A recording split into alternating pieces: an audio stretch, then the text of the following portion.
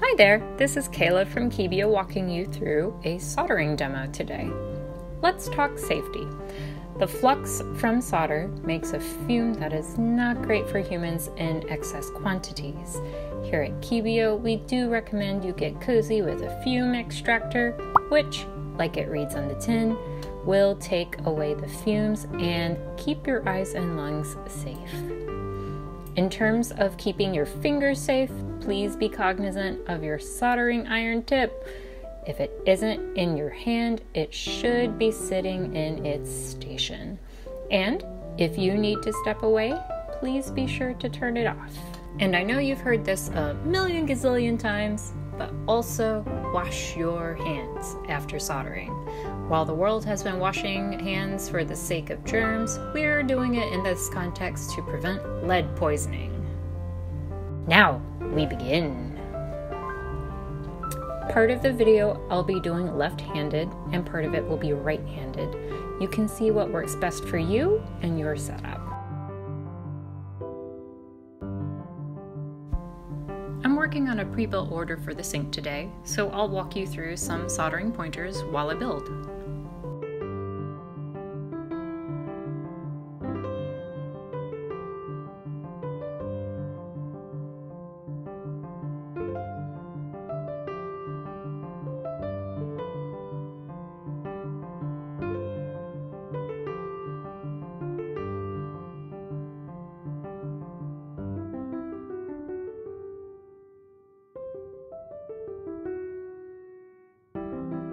Solder, and in our office, rosin solder, comes in different sizes. We tend to use the smaller solder for hot swaps, for example, and the larger solder for switches. You may not think it's that big of a difference since they're so thin, but when you're working with tiny bits and bobs, it's worth considering what size you need for your project. I'll show you a quick example with this little hot swap socket here. Check out our description box for the link if you'd like some. The reason the thin solder is great here is it helps prevent me from accidentally flooding the hot swap. And by flooding, I mean you're getting solder inside the cylindrical bit where the leg for the switch should go. If you're using solder that is too big, that can become a problem. Easily avoidable though. A good rule of thumb if you're just starting out is to bend your solder at 90 degrees. You want to aim for 1 centimeter of bend. This method helps you quantify how much solder you're using. I solder by the feel and look of things, but the solder bend is a great strategy if you're just starting out.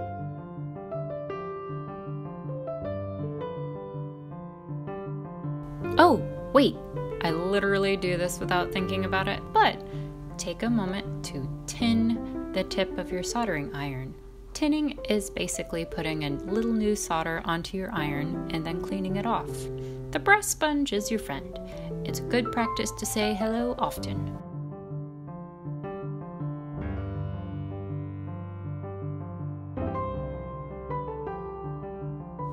Small side note the brass sponge also goes by a few other names.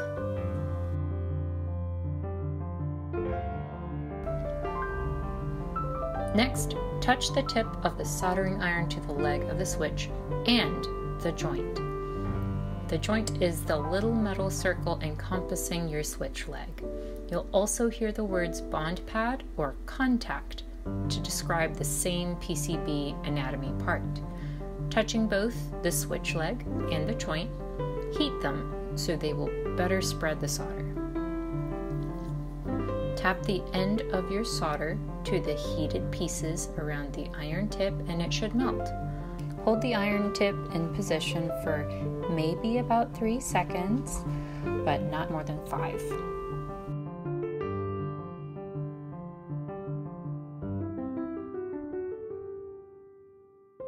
You've attached one switch leg. Since I am working on the Sinc, that's one of 203 more solders to go. It sounds like a lot, but the process can feel a bit like meditating if that helps it feel a bit better. Once you've done this six or seven times, your iron tip will likely have a bit of orangey black crust from built up flux. You want to scrape that off by wiping it on your brass sponge, which will clean your soldering iron.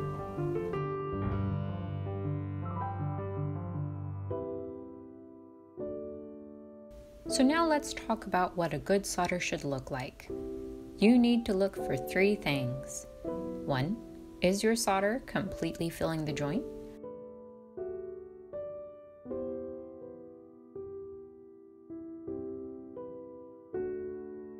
Two, does it make a triangle shape when you look at it from the side?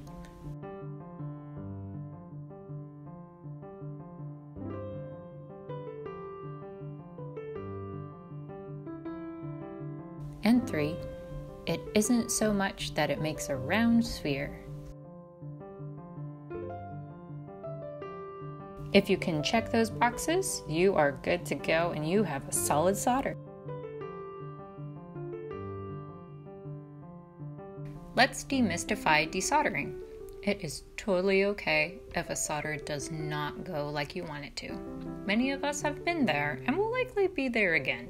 Mistakes happen. All you need to do is heat your soldered point. After it becomes melty, place the desoldering tool on top of the solder joint and press the button. That way it will suck up all the solder that you don't want to be there and take it away. All done. Thanks for joining me for another build of the Sinc. Be sure to let us know down in the comments what other videos you guys might like to see. See you later.